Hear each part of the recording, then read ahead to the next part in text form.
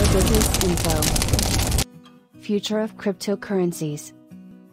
When you look at the cryptography based currency market, it will appear to be thrilling, concerning, and mysterious at the same time. The pioneer, Bitcoin, has gathered immense popularity in the last few years.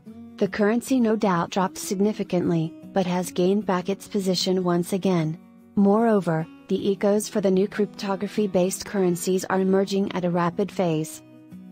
A lot of money is invested in the Bitcoin industry, we cannot ignore the fact that a huge amount of money is invested in the domain. But according to the financial experts, the whole future seems little skeptical.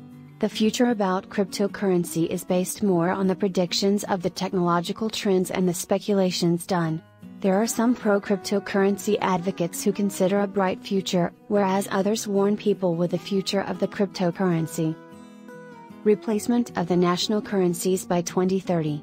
It is believed by some of the leading futurists that cryptocurrency will stay and rule the financial market. It is predicted that the cryptocurrencies are going to replace the national currencies by almost 25% by the year 2030. The crypto based currencies are considered more efficient, especially because of the way they function. Hence, replacing the national currencies won't be a very big thing. In 2009, when Bitcoin was introduced, it showed a lot of potential and it was successful. Within a year's span, it flourished and its growth is still on, making it a legal currency and an asset in several nations.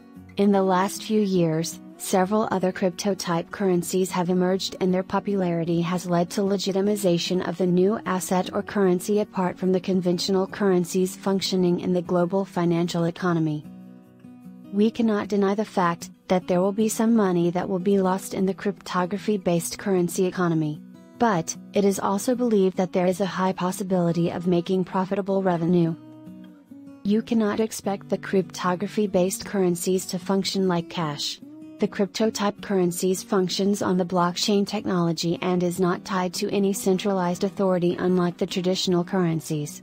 It is often referred as the blockchain economy some experts, the IRS considers the cryptocurrency more like a property than the actual currency. It won't be wrong to say that Bitcoin is more or less similar to the real estate selling. When you are selling your Bitcoin, you are passing on the discrete digital information to someone else. There are several Visa companies that have already made the use of cryptocurrencies easier for the regular transactions.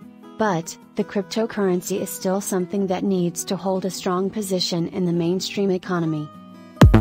Share business info.